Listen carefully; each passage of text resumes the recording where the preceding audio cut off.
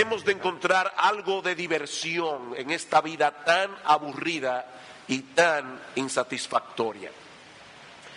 Yo no sé si los compositores de esta canción conocían el pasaje de Eclesiastés que Lester leyó hace un momento y que vamos a estudiar en esta mañana, pero esa parece ser la pregunta que Salomón se hizo una y otra vez en cierta etapa de su vida. ¿Es esto todo lo que hay?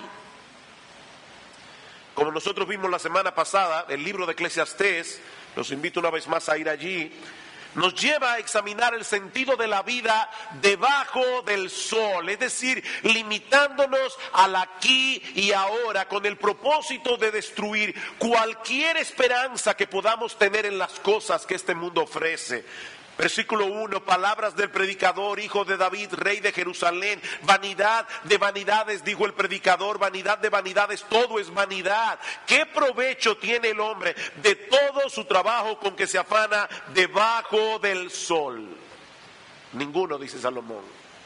Esa fue la conclusión a la que este hombre llegó después de haber convertido su vida en una especie de laboratorio experimental para encontrar el propósito y significado de su existencia en este mundo. Versículo 12, yo el predicador fui rey o literalmente he sido rey sobre Israel en Jerusalén. Salomón quiere compartir las lecciones que aprendió al final de su vida. Yo he sido rey, ya soy viejo, he experimentado mucho ahora quiero compartirles lo que he aprendido. En este largo peregrinaje, en la búsqueda de algo que le dé sentido a mi vida. Por supuesto, si había una persona que tenía los recursos y capacidades necesarias para hacer esa clase de experimento, era Salomón.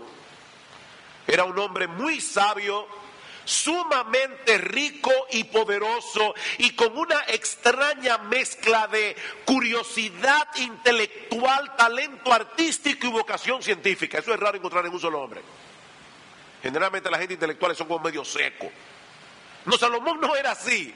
Salomón tenía una extraña mezcla de curiosidad intelectual, talento artístico y vocación científica. Dicen Primera de Reyes capítulo 4, versículo 29, y dio Dios a Salomón sabiduría y prudencia muy grandes y anchura de corazón, como la arena que está a la orilla del mar. Era la sabiduría de Salomón más que la de todos los orientales y que toda la sabiduría de los egipcios. Y compuso mil proverbios y sus cantares fueron mil cinco. Nosotros conocemos el cantar de los cantares, pero él compuso más de mil cantares, era un poeta Salomón. También disertó sobre los árboles, desde el cedro del Líbano hasta el hisopo que nace en la pared. Asimismo disertó sobre los animales, sobre las aves, sobre los reptiles, sobre los peces. Y para oír la sabiduría de Salomón venían de todos los pueblos y de todos los reyes de la tierra donde había llegado la fama de su sabiduría. No había hombre sobre la tierra en aquellos días que igualara a Salomón en conocimiento y él lo sabía. Por eso decidió hacer uso de su formidable capacidad intelectual para entender por sí mismo el sentido de las cosas. Versículo 13. Y di mi corazón a inquirir y a buscar con sabiduría sobre todo lo que se hace debajo del cielo.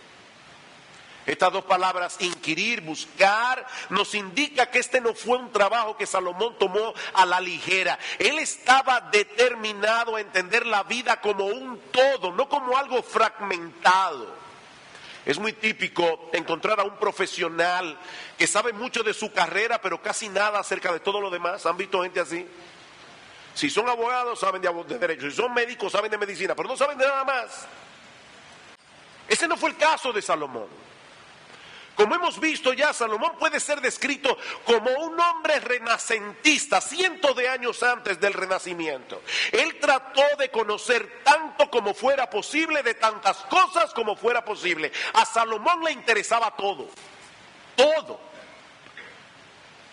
Como bien ha dicho alguien, su búsqueda fue intensa y extensa intensa y extensa, de manera que sus conclusiones pudieran ser lo más definitivas que fuera posible. Él trató de adquirir todo el conocimiento que un ser humano puede alcanzar sobre todo lo que se hace debajo del cielo, dice en el versículo 3, pero sin la ayuda de Dios y de su revelación.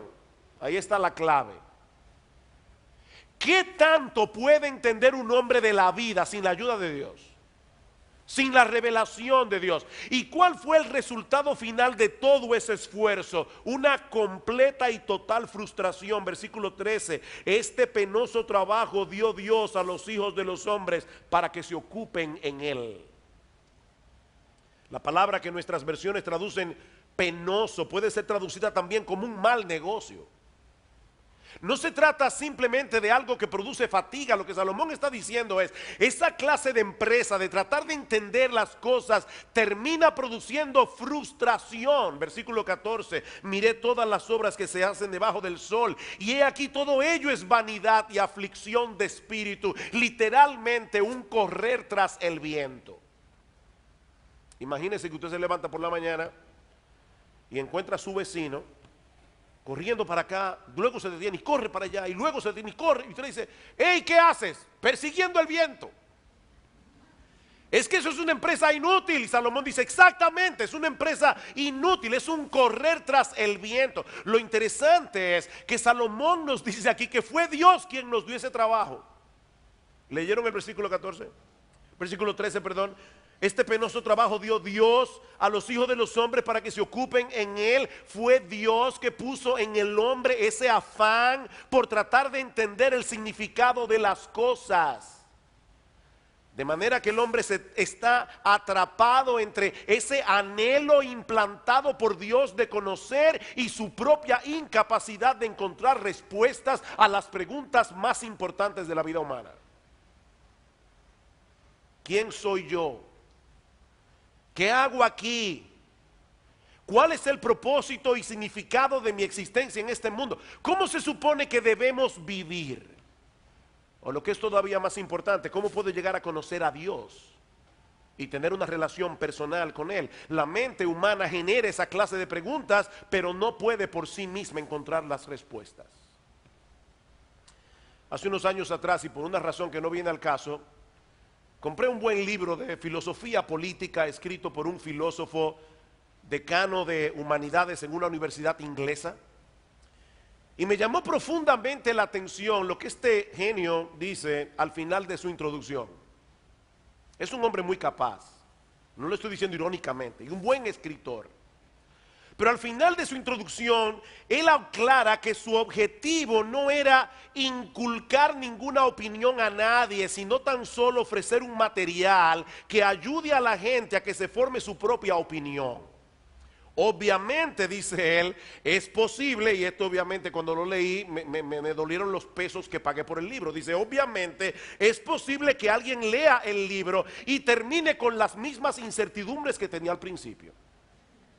Sin embargo, oigan esto, no deberíamos subestimar el progreso que se ha hecho cuando se pasa de la ignorancia confusa a la perplejidad informada. He ahí lo único que puede ofrecer la sabiduría de este mundo ayudarte a tener una perplejidad informada que seguramente generará otras preguntas y que te hará más consciente de la enorme cantidad de problemas sin solución que hay en este mundo. Eso fue lo que Salomón entendió. Después de una larga e intensa labor intelectual, versículo 15, lo torcido no se puede enderezar y lo incompleto no puede contarse. No solo tenemos una existencia enigmática en este mundo, una existencia que no podemos entender del todo, sino que hay muchas cosas torcidas que probablemente, mis amados hermanos y amigos que están aquí, permanecerán torcidas. En una de las caricaturas de Kino aparece Mafalda escuchando la radio y en la radio decía, el Papa ha hecho un nuevo llamado a la paz, a lo que Mafalda responde, y le dio ocupado como siempre, ¿no? Alguien decía que si dedicamos nuestro tiempo y energía tratando de enderezar todo lo que está torcido, nos quedaremos sin nada para vivir nuestra propia vida. Ahora, yo no estoy diciendo, mis amados hermanos, que lo que el hombre hace para mejorar de alguna manera los males sociales sea completamente inútil, no.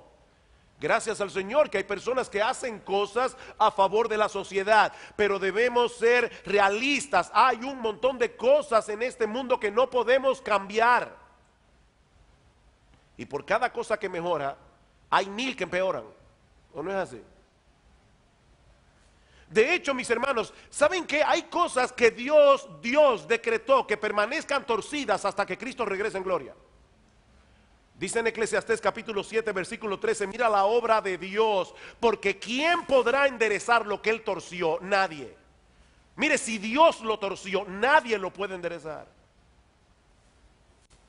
Eso es parte de la maldición de Dios sobre este mundo caído por causa del pecado. Lo torcido no se puede enderezar. Y lo incompleto no puede contarse.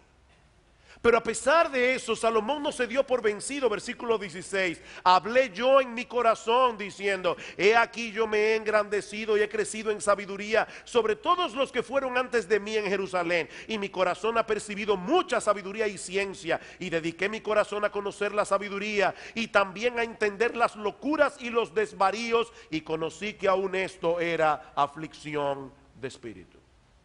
Las locuras y los desvaríos. ¿De qué está hablando Salomón aquí? Bueno, así como la sabiduría, la verdadera sabiduría es el temor del Señor, la necedad, según lo que la Biblia la presenta, es vivir sin tomar a Dios en cuenta. De manera que lo que Salomón está diciéndonos aquí es que él quiso investigar a fondo ambos estilos de vida, el estilo de vida del sabio, el estilo de vida del necio, para hacer un contraste. Pero a la larga entendió que aún la adquisición de esa clase de conocimiento era más frustrante que satisfactoria. Versículo 17, conocí que aún esto era aflicción de espíritu. No fue el fracaso de su empresa lo que hizo a Salomón sentir frustrado, frustrado, perdón. Fue el hecho de haber tenido éxito. O sea, Salomón está diciendo, ya conseguí lo que quería. Entendí muchas cosas. ¿Y ahora qué? ¿Soy más feliz por eso? ¿Comprendo mejor el propósito de mi existencia en este mundo? No. No, más bien he descubierto que en la medida que aumenta el conocimiento, también aumentan los problemas. Versículo 18. Porque en la mucha sabiduría hay mucha molestia. Y quien añade ciencia añade dolor. Literalmente añade irritación. Alguien tradujo este versículo, mientras más entiendes, más te duele. Perseguir el conocimiento sin perseguir a Dios usualmente lleva a un camino de mucha frustración. Ustedes se han dado cuenta que muchos de los hombres inteligentes de este mundo son los más cínicos y los más pesimistas. Son la gente más amargada del planeta muchas veces. Y no es que haya nada de malo en el conocimiento y la sabiduría per se. De hecho, el mismo autor de Eclesiastés nos dirá más adelante, y lo veremos la semana que viene, que la sabiduría sobrepasa la necedad como la luz a las tinieblas. Es mejor ser un sabio que ser un necio, relativamente hablando. Pero perseguir la sabiduría como un fin en sí misma, pensando que de ese modo vamos a dar sentido a nuestra existencia en este mundo y tener una vida más plena y feliz, tarde o, o temprano termina en frustración. A medida que aumenta el conocimiento, más se apercibe el hombre de las cosas que están mal en esta vida y más se da cuenta de las cosas que no sabe. Decía Joan Manuel Serrat en una de sus canciones, andar y andar buscando verdades para encontrar siempre otra pregunta, ir y venir y no llegar nunca. Esa es la vida del hombre sobre la tierra. Mientras más sabes, más cuentas te das de lo que no sabes y de que hay muchas cosas que tú ni siquiera sabes que no sabes. Nuestra ignorancia es tan grande que hay muchas cosas que nosotros ignoramos que ignoramos. No sabemos que no las sabemos. Usted ve, pastor, por eso es que yo no me afano buscándole las cinco patas al gato. Yo soy una gente simple que prefiere gozar de la vida todo lo que pueda mientras pueda. Esa es mi filosofía de vida. Bueno, si es así como tú piensas, escucha lo que dice Salomón al respecto, porque él también probó con ese estilo de vida. Capítulo 2, versículo 1. Dije yo en mi corazón, ven ahora, Te probaré con alegría y gozarás de bienes, mas he aquí esto también era vanidad. Salomón trató de encontrar en el placer lo que no encontró en el estudio. Pero también descubrió que esa era otro callejón sin salida. No porque el placer fuera malo en sí mismo, Hermanos, a veces los cristianos tienen una mala concepción del placer. Fue Dios quien hizo al hombre con la capacidad de disfrutar de su creación. La vaca come hierba, ellas no distinguen entre un postre sofisticado y cualquier otro tipo de comida, pero Dios le dio al hombre papilas gustativas con miles de determinaciones nerviosas para que nosotros podamos degustar la comida y decir, me gusta esto, no me gusta esto, lo disfruté. Es Dios que creó al hombre con la capacidad de disfrutar.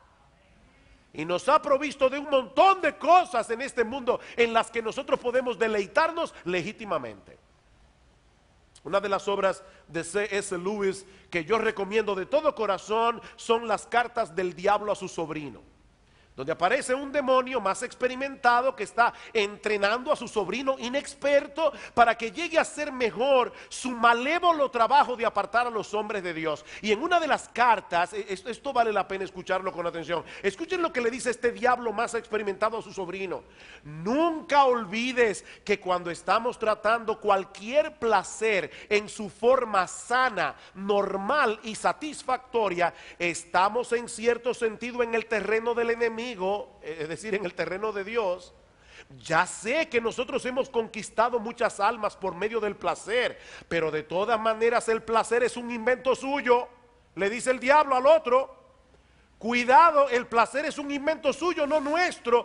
Él creó los placeres. Todas nuestras investigaciones hasta ahora no nos han permitido producir ni uno. Todo lo que podemos hacer es incitar a los humanos a gozar los placeres que nuestro enemigo ha inventado en momentos o formas o grados que él ha prohibido.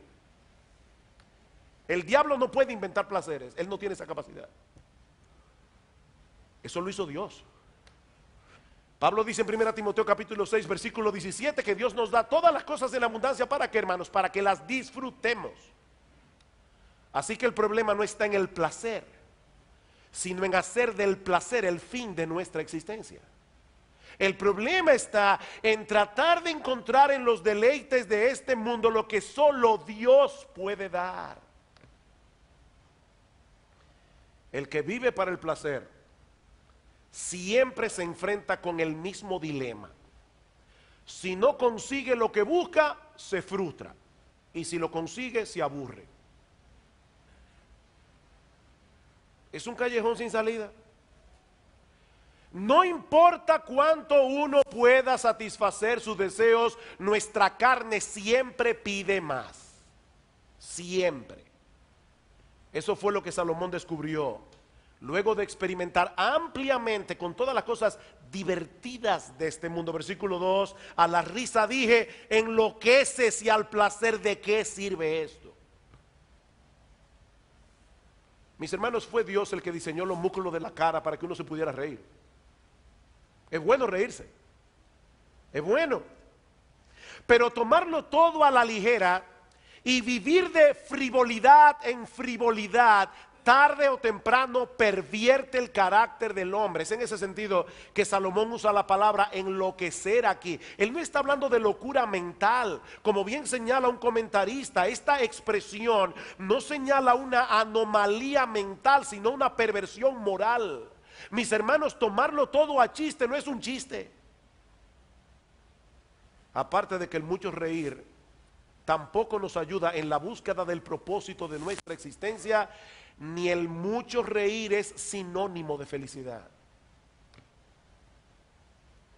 Cuando yo era niño, mi madre recitaba muy a menudo, solía recitar un poema de Juan de Dios Peza, que probablemente Muchos de ustedes han escuchado alguna vez, este poema termina diciendo, ay cuántas veces al reír se llora, nadie en lo alegre de la risa fíe, porque en los seres que el dolor devora, el alma llora cuando el rostro ríe. El carnaval del mundo engaña tanto que las vidas son breves mascaradas. Aquí aprendemos a reír con llantos y también a llorar con carcajadas. Miren, si el placer y la felicidad fueran la misma cosa, pocas personas serían más felices que los actores y actrices de Hollywood. Esa gente tiene lo que muchos quisieran tener. Fama, dinero, posibilidades casi ilimitadas de satisfacer todos sus caprichos y todos sus deseos y son la gente más desgraciada del planeta. Viven de psiquiatra en psiquiatra, de terapia en terapia, de divorcio en divorcio. Miren mis hermanos, una cosa es tener momentos fugaces de alegría y de deleite, otra muy distinta es experimentar la verdadera felicidad, como Salomón descubrió después de experimentar una larga lista de placeres. Versículo 3, propuse en mi corazón agasajar mi carne con vino y que anduviese mi corazón en sabiduría con retención de la necedad hasta ver cuál fuese el bien de los hijos de los hombres en el cual se ocuparan debajo del cielo todos los días de su vida. Aclaro, este es un texto de difícil interpretación, pero lo que Salomón parece estar diciendo aquí es que él trató de disfrutar del vino, pero sin caer en excesos, de tal manera que nunca perdiera su capacidad de razonamiento. En otras palabras, él estaba llevando a cabo un experimento controlado. Un experimento controlado que lo llevó a descubrir que el vino no era la respuesta. Así que decidió tomar otro rumbo, dedicarse a grandes proyectos de construcción. Versículo 4, engrandecí mis obras, edifiqué para mí casas, planté para mí viñas, me hice huertos y jardines y planté en ellos árboles de todo fruto, me hice estanques de aguas para regar de ellos el bosque donde crecían los árboles. No sé si se dieron cuenta, pero hay dos cosas que llaman la atención en este texto. Una, la repetición de plurales que Salomón está usando aquí. Él no hizo una casa, él se hizo casas. Él no plantó una viña, él plantó viñas. Él hizo huertos y jardines y estanques. Pero lo otro que llama la atención es la repetición del pronombre posesivo mi. Él no estaba haciendo obras públicas para el deleite de, Jerusalén. Él estaba haciendo obras para él. Yo me hice casas, yo me hice estanques, yo me hice huertos. Salomón trató de reproducir el huerto del Edén en la tierra, construir su propio paraíso terrenal. Y tenía el dinero para hacerlo. Y no olvidemos que este hombre llegó a tener 700 esposas y 300 concubinas un harén de mil mujeres. Tal vez por eso es que tenía que hacer tantas casas. Yo imagino a las esposas, yo quiero una ventana aquí y una ventana allí.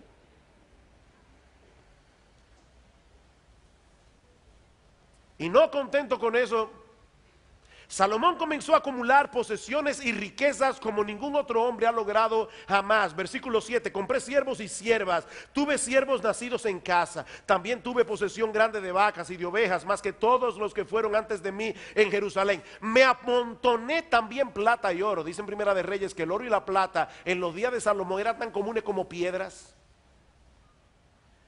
y tesoros preciados de reyes y de provincias. Me hice de cantores y cantoras de los deleites de los hijos de los hombres y de toda clase de instrumentos de música.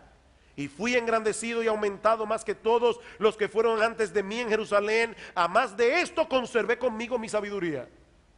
No negué a mis ojos ninguna cosa que desearan, ni aparté mi corazón de placer alguno, porque mi corazón gozó de todo mi trabajo y esta fue mi parte de toda mi faena.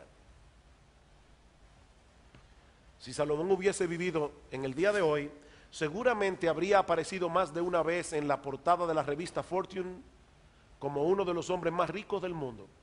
Ya yo me imagino en la revista Architecture Digest, la casa de Salomón, y los jardines de Salomón, y los estanques de Salomón. Hubiera sido un hombre famoso.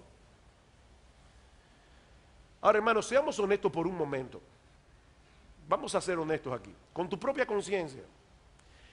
¿De verdad nunca te ha pasado por la cabeza que si tú tuvieras por lo menos algo de la porción que tienen los hombres como Salomón, tú serías un poco más feliz? Claro, para ser, ¿verdad? No, no, no, no pasarnos de la raya sin las mujeres, sin las esposas y la concubina. Decía un cómico argentino, ¿ustedes creen que esas personas que tienen casas, yates, aviones, son felices? Porque a mí me da la impresión de que sí, dice él. A veces uno le da la impresión de que sí, de que son felices, de que viven vidas super wow. Y uno cogiendo lucha. Es por eso que Dios nos advierte en su palabra contra los deseos de la carne, los deseos de los ojos, la vanagloria de la vida. El salmista le oraba al Señor en el Salmo 119, aparta mis ojos que no vean la vanidad, avívame en tus caminos. Pero Salomón no hizo caso de esas advertencias. Él no se negó a sí mismo ninguno de sus deseos. ¿Y saben lo que descubrió al final? Versículo 11 Miré yo luego todas las obras que habían hecho mis manos y el trabajo que tomé para hacerlas, y he aquí todo era vanidad y aflicción de espíritu y sin provecho debajo del sol. Después de haber construido su propio paraíso terrenal, Salomón llegó a la conclusión de que eso también era vanidad, era un correr tras el viento, dice el texto literalmente. Ni el vino, ni las posesiones, ni la risa, ni las mujeres, ni la música le dieron a Salomón la satisfacción que él buscaba. Un escritor norteamericano llamado Greg Easterbrook escribió un libro publicado en el 2003 titulado La paradoja del progreso. Pero lo interesante de este libro es el subtítulo. El subtítulo de este libro es ¿Cómo la vida mejora mientras la gente se siente peor? ¿Cómo la vida mejora mientras la gente se siente peor? Easterbrook se basa en una serie de estadísticas para probar que los norteamericanos se encuentran hoy en una situación bien extraña. En términos de posesiones materiales y de tiempo disponible, están mejor que nunca si son más infelices que nunca. Eso fue lo que Salomón entendió, finalmente. Después de todo lo que había hecho y experimentado, Salomón parece haberse preguntado lo mismo que Peggy Lee. ¿Es esto todo lo que hay? ¿Ustedes han visto los niños en Navidad? Nosotros desde hace muchos años nos reunimos toda la familia en Navidad para dar a nuestros hijos los regalos de Navidad. Todos los tíos, todos los, cada uno a los otros. Y es increíble ver el entusiasmo con que abren cada caja. Muchos de esos regalos terminan tirados y olvidados en algún rincón de la casa, tarde o temprano. Miren mis hermanos, ninguna cosa de este mundo fue creada para producir en sí misma satisfacción permanente. Y eso nos lleva a la gran enseñanza de este pasaje, que es la gran enseñanza del libro de Eclesiastés si todo el conocimiento que podemos alcanzar debajo del sol y todos los placeres que podemos experimentar no satisfacen realmente, debe ser porque lo verdaderamente satisfactorio no se encuentra aquí. A donde te quiere llevar Salomón es a que tú entiendas que lo verdaderamente satisfactorio no se encuentra en este mundo. Permítanme citar otra vez a C.S. Lewis en su libro Mero Cristianismo. Lewis dice que muchas personas encuentran difícil desear el cielo Claro, hay mucha gente que quiere vivir para siempre, pero yo me refiero, y él también, al cielo tal como la Biblia describe el cielo. Muchas personas encuentran difícil desear el cielo, y dice él esto por dos razones. La primera es que hemos sido entrenados para fijar nuestras mentes en las cosas de este mundo. La segunda es porque no somos capaces de reconocer el deseo del cielo que todos llevamos dentro. Y ahora escuchen lo que él dice la mayoría de las personas, si realmente hubieran aprendido a mirar dentro de sus corazones, sabrían que sí desean y desean intensamente algo que no puede obtenerse en este mundo. Hay toda clase de cosas en este mundo que ofrecen darnos precisamente eso, pero no acaban de cumplir su promesa. El deseo que despierta en nosotros cuando nos enamoramos por primera vez ¿Tú recuerdas eso si te ha pasado alguna vez? o cuando nos interesamos en algún país extranjero o en algún tema que nos entusiasma, ese es un deseo que ninguna boda, ningún viaje, ningún conocimiento puede realmente satisfacer. Dice él, hubo algo que percibimos en esos primeros momentos del deseo que simplemente se esfuma en la realidad. Tú estabas deseando eso intensamente de repente lo tienes y es como si se esfumara en tus manos. Por lo menos no con, el, con la misma intensidad con que lo deseaste al principio. Queridos hermanos, y amigos que están aquí en esta mañana, nosotros fuimos creados para encontrar nuestro deleite y satisfacción en Dios. Si lo dejamos a Él fuera de la ecuación, no importa cuánto conocimiento logremos adquirir o cuántos placeres terrenales podamos experimentar, tarde o temprano terminaremos frustrados.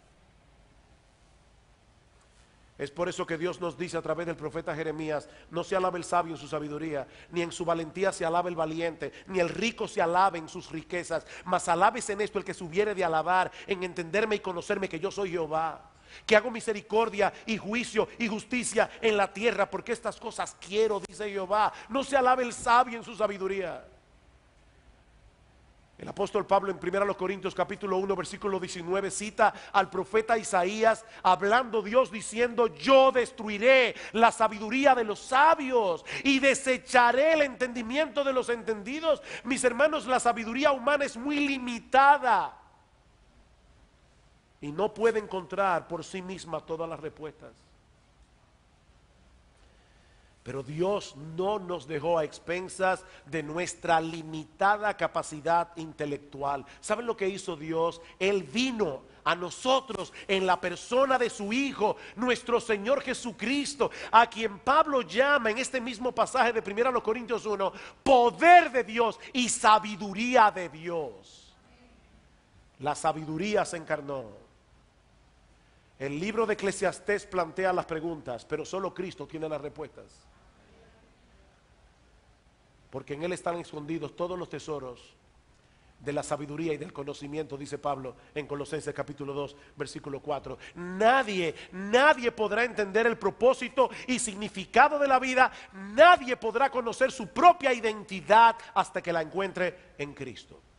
Y con esto yo no estoy diciendo que tan pronto nos convertimos al Señor, entendemos todas las cosas y conocemos todas las respuestas. No, mis hermanos, hay muchas interrogantes que no serán respondidas de este lado del cielo. Pero los cristianos sabemos con certeza de que algún día estaremos en la presencia de nuestro bendito Señor y Salvador. Y saben que todas, todas nuestras inquietudes serán respondidas. Dice Salomón hay muchas cosas torcidas en este mundo que no pueden ser enderezadas. Pero Cristo se introdujo en la historia humana para morir por nuestros pecados y para traernos la esperanza del que algún día todas las cosas torcidas de este mundo serán enderezadas para siempre jamás. Mientras tanto nos contentamos con lo mucho que nuestro Dios ya nos ha revelado en su palabra. Pablo dice en 1 Corintios 2 que nosotros tenemos la mente de Cristo. Y la idea es, nosotros tenemos la mente de Cristo revelada aquí. Nosotros tenemos la mente de Cristo. Entendemos muchas cosas que antes no entendíamos. ¿O no es así? Y disfrutamos de todas las cosas que Él creó. No para que se conviertan en un sustituto de Dios sino para que lo disfrutemos a Él al disfrutar de esas cosas. Dios quiere que nosotros lo disfrutemos a Él disfrutando la cosa que Él creó. Pablo dice en 1 Timoteo 4:1 que en los postreros tiempos algunos apostatarán de la fe, escuchando a espíritus engañadores y a doctrinas de demonios por la hipocresía de mentirosos que teniendo cauterizada la conciencia prohibirán casarse, mandarle a un hombre que permanezca célibe para servirle a Dios, obligarlo a quedarse célibe cuando no tiene el don de continencia. Eso no es ser más santo. Pablo le llama doctrina de demonios. Y mandarán abstenerse de alimentos que Dios creó para que con acción de gracia participasen de ellos los creyentes y los que han conocido la verdad, porque todo lo que Dios creó es bueno y nada es de desecharse si se toma con acción de gracias. Mis hermanos, dime hacerles una pregunta. ¿Acaso no fue Dios el que creó la vid con la capacidad de aspirar agua a través de sus raíces y con la ayuda del sol convertir el agua en jugo y luego fermentarse para convertirse en vino? ¿Quién creó ese mecanismo? Fue Dios. Así que a través de la historia, ¿saben que Dios ha estado convirtiendo el agua en vino un montón de veces? Es Dios el que lo hace, pero los hombres prefieren atribuir esa clase de, placeres a un proceso natural y así desconectarlo de la bondad de Dios y poder abusar del vino a su antojo. Pero entonces vino Cristo y en las bodas de Caná dejó el asunto al descubierto. Y como bien dice alguien, ese milagro de la boda de Caná no ha cumplido por completo su propósito si solo nos enseña que Jesús es Dios. Tendrá el efecto completo si donde quiera que veamos un viñedo o, veamos, o bebamos un vaso de vino, recordamos que en ambos casos está obrando aquel que estuvo sentado en la fiesta de la boda de Caná. No, Cristo no convirtió el agua en vino únicamente en la boda de Caná. Él ha estado haciendo eso desde la época de Noé. Lo que él hizo en la boda de Caná fue acelerar el proceso y eso es un milagro. Queridos hermanos, la respuesta cristiana al placer desenfrenado y destructivo no es el monasticismo. Dios no quiere que nos convirtamos en monjes. La respuesta del cristianismo no es el legalismo. La respuesta del cristianismo es el disfrute de las cosas creadas dentro del parámetro establecido por Dios y recordando en todo momento que solo Cristo, solo Cristo puede satisfacer plena y permanentemente los anhelos más profundos del alma. Solo Él. Nadie más. Yo he venido para que tengan vida y para que la tengan en abundancia, dice el Señor en Juan 10:10 10, y en Juan 6:35, yo soy, yo soy y nadie más lo es. Yo soy el pan de vida. El que a mí viene nunca tendrá hambre y el que en mí cree no tendrá sed jamás. Querido hermano, Querida hermana, no te dejes seducir por las ofertas engañosas de este mundo. Lo que necesitas realmente no es un mejor sueldo, no es una mejor casa, no es un mejor carro o tal vez tener carro, no es un mejor matrimonio o tal vez estar casada, no es más entretenimiento. No, dice el salmista en el Salmo 16, 11, que en la presencia de Dios hay plenitud de gozo delicias a su diestra para siempre. Y en el Salmo 36, 7, cuán preciosa, oh Dios, es tu misericordia. Por eso los hijos de los hombres se amparan bajo la sombra de tus alas. Serán completamente saciados de la grosura de tu casa. Y tú los abrevarás del torrente, no de una rigola, del torrente de tus delicias, porque contigo está el manantial de la vida. En tu luz veremos la luz. Cuando Lester oraba hace un momento, citó el Salmo 73. ¿A quién tengo yo en los cielos sino a ti? Y fuera de ti nada deseo. En la tierra solo Dios en Cristo puede satisfacer plena y permanentemente el alma humana. De manera que sustituirlo a Él por las cosas de este mundo es infinitamente peor y más estúpido que cambiar espejitos por oro. Es mil veces peor y más estúpido que cambiar espejitos por oro. Mi amigo, no sigas buscando en este mundo lo que este mundo no te puede dar. ¿Sabes lo que tú necesitas? Tú necesitas reconciliarte con Dios. Tú necesitas el perdón de tus pecados. Tú necesitas el don de la vida eterna. Y eso solamente lo puedes obtener a través de Cristo. Ven a Él y confía en Él para el perdón de tus muchos pecados.